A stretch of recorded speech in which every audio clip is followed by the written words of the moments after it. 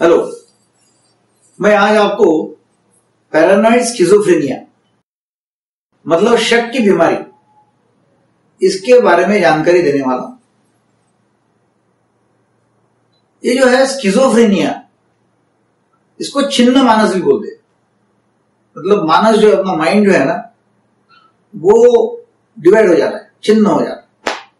मतलब लॉजिक जो है रैशनल थिंकिंग जो है, वास्तविकता जो है उससे उसका संपर्क नहीं रहता। तो उसमें आदमी बड़बड़ करना, अपने आप से बातचीत करना, नींद नहीं आना, कोई हरकतें करना।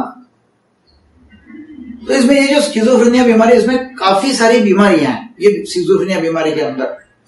उसमें का एक जो है, जो पैरानाइड स्किजोफ्रेनिया करके पैरानाइड स्किजोफ्रेनिया मतलब शक की बीमारी, उसके बारे में मैं आपको भी जानकारी देने वाला हूँ। इसमें होता क्या है कि व्यक्ति को शक आता है। और शक उसको हर बात पे, हर लोगों पे आते रहता है। शुरू होता है वो एकदम छोटी सी बात से। वो बढ़ते बढ़ते बढ़ते बढ़ते वो बहुत बड़ा रूप धारण कर लेता है। तो शक कौन सा है? उसको शक आता है कि भाई मेरे बारे में लोग बातचीत कर रहे हैं। लोग मुझे देख के हंस रहे हैं। या पुलिस मेरे पीछे लगी हुई। है पुलिस मुझे अरेस्ट कर लेगी, पकड़ लेगी। तो मतलब घबरा के छिप जाता है घर। उसको लगता है कि नहीं, अपने बारे में लोग बातें कर रहे हैं, अपने बारे में, टीवी में, अपने बारे में, रेडियो पे, अपने बारे में, अखबार में, कुछ अलग अलग बातें छपी जा रही है। कहीं भी दिखा तो उसको शक आता है लोगों के ऊपर कि देखो मेरे बारे में बात कर रहा है। या मुझे देख के वो हंस रहा मतलब ऐसा लगता है उसको कि जो लोग बातें कर रहे हैं आपस में, वो इसको देख के हंस रहे हैं या उसको देख के बातें कर रहे उसको घर के व्यक्तियों के ऊपर शक आता है, अपने पत्नी के ऊपर शक आता है कि इसके बाहर कोई संबंध है या फिर इसके ये मुझे कुछ मिला के देती है क्योंकि इसके संबंध है तो मुझे मारना चाहती है ये इतने मतलब इसमें मतलब गहरा इसका असर हो जाता है कि वो अपने पत्नी को बाहर जाने देता नहीं, उसका मोबाइल छीन लेता है तो उसके बाहर संपर्क है। और बाहर कहीं ना कहीं ये संपर्क रखती है, उसके कोई दोस्त है या कोई आदमी है, कि जिसके साथ में ये संपर्क करती है, दोस्त है। तो बाहर जाने देता नहीं उसको, घर में बिठा के रख देगा। कुछ व्यक्ति भी मेरे तरफ़ एक पेशेंट आया था, वो अपने पत्नी को रात को संकली से बाँध के रखता था। तो ये रात में कहीं तो भी जाती है और संबंध करके आ जाती है। कुछ कुछ लोग तो अंदर से ताला लगा देते हैं और चाबी अपने पास में रखते हैं ताकि पत्नी बाहर ना जाए कहीं। तो इस तरह के मतलब अलग अलग शक शक उसको दिमाग में आते हैं। कुछ लोगों को ऐसा शक लगता है कि मेरे अनाज में, मेरे खाने में कोई जहर मिला रहे और मुझे मार डालेंगे। घर को घर में खाना भी नहीं खाता। मतलब घर के लोगों के ऊपर भी शक आता है उसको। तो घर में खाना नहीं खाएगा। अपने हाथ से बना के खाएगा या बाहर जाके खाना खाएगा। अब इसके साथ साथ लोगों को आवाज़ भी कान में आती जैसा ये शक विचारों का है, उसको बोलते हैं डेल्यूजन पैरानोइड डेल्यूजन बोलते हैं। वैसे कानों में जो आवाज़ आते हैं, उसको बोलते हैं ऑडिटरी हेल्यूसिनेशन मतलब भ्रम, कान का कान का भ्रम हो जाता है। जिसमें उसको आवाज़ आते है कि देखो देखो लोग मारने आ रहे देखो, मेरे को आवाज़ आ रही है कि लोग मेरे को मारने आ रहे लोग मेरे को पकड़ने आ रहे फिर उसको कान में आवाज़ आती है कि भाई उसके ऊपर लोग रनिंग कमेंट्री करते हैं। मतलब उसको ऐसे कुछ तो भी आवाज़ सुनाई आती है कि वो व्यक्ति ये जो जो कर रहा है ना उसकी रनिंग कमेंट्री कर रहा है।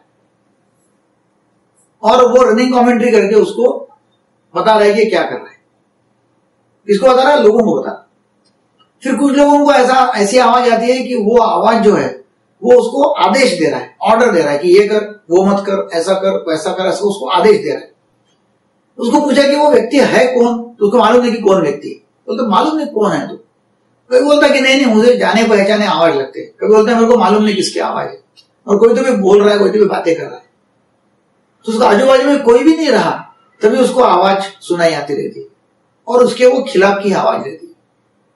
कुछ लोगों को ऐसा लगता है कि नहीं, मेरे विचार जो है, वो लोगों को मालूम हो जाते आप या इसको लगता है कि लोगों के विचार इसको मालूम हो जाते अक्सर ये रहता है कि इसके विचार लोगों को मालूम होते हैं, और लोग इसके विचार खींच लेते बाहर, और खींच लेके उनको मालूम हो जाते विचार। ऐसा उसको लगता है।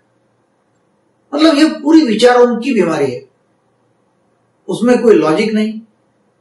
उसको कुछ ऐसा लगता नहीं कि मतलब वो उसको पूछा कि सच्ची है क्या बोले हाँ मेरे को पक्का पता है सच्ची है और ऐसे ही होते रहते हैं। तो उसको लगता है कि नहीं पूरा पक्का ऐसे ही होने वाला है या सच्ची है ऐसा बोलता है वो। और उसका उसके ऊपर विश्वास आ, उसको रहता है। अब इसके साथ साथ ये जो बीमारी बढ़ती है तो फिर उसकी नींद चली जाती। फिर अपने आप बड़बड़ करते रहता।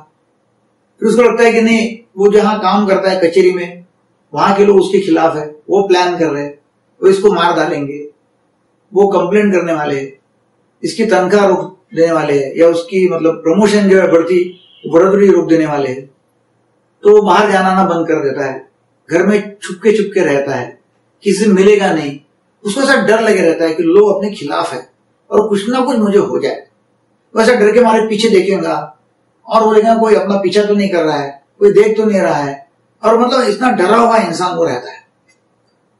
तो खाना टाइम पे नहीं खाना, नींद नहीं लेना समय समय पे नहाना नहीं, और एकदम ऐसा उसका उसका मतलब देखना भी जाता है तो उसका बाल बड़े है गाड़ी बड़ी हुई है मतलब इस तरह का ऐसा लगता है कि भाई उसको कुछ तो भी हुआ है। फिर ऐसा भूलने के लिए कभी वो व्यक्ति शराब पीना भी चालू कर देता है।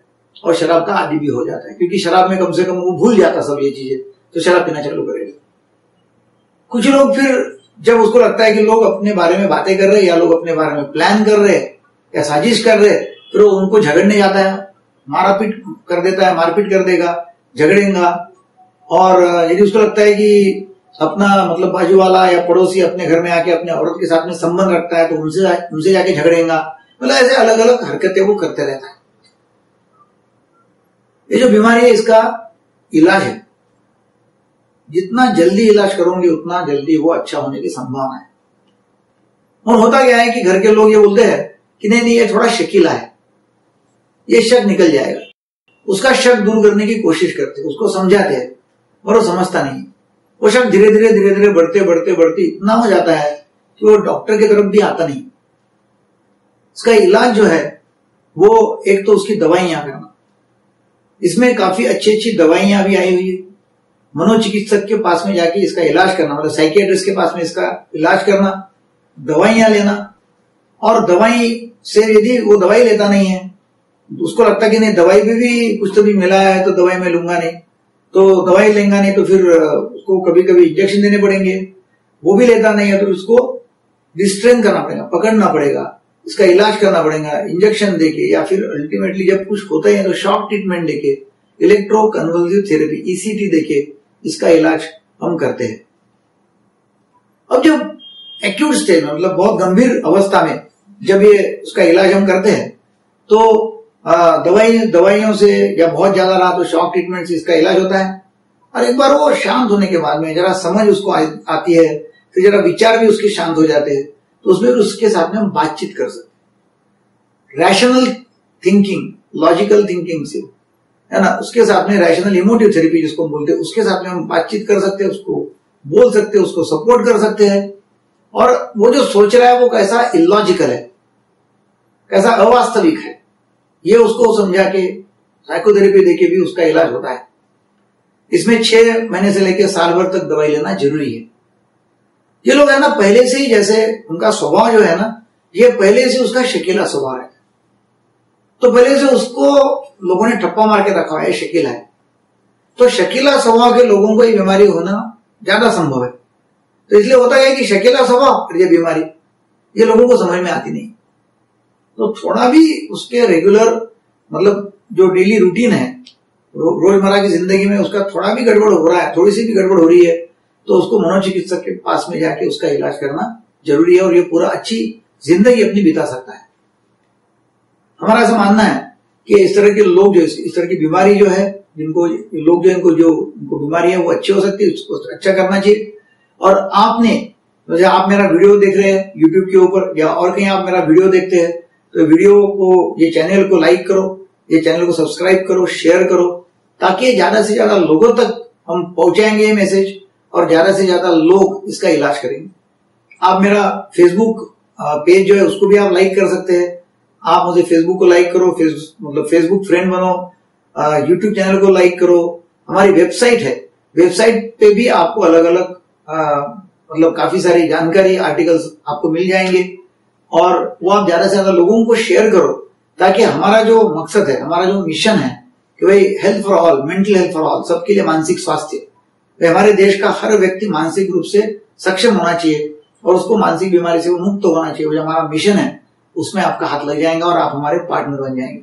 So thank you very much thank you see